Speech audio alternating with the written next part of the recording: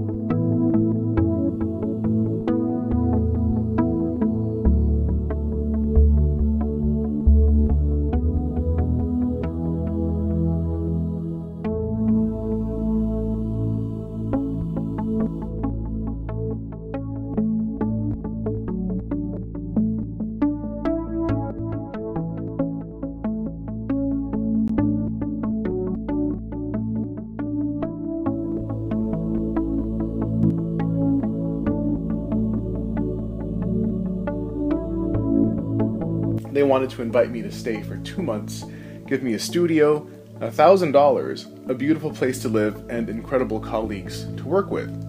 They wanted to introduce me to collectors and artists, to speak to students, and I can't even say enough about the staff. Without exception, everyone was supportive and generous, and I know why. Pilchuck makes you want to work hard and to give back, because we all benefit so much from it. I can strongly recommend Pilchuck as a place full of inspiration for everybody. Thank you Pilchuck for everything. Thank you.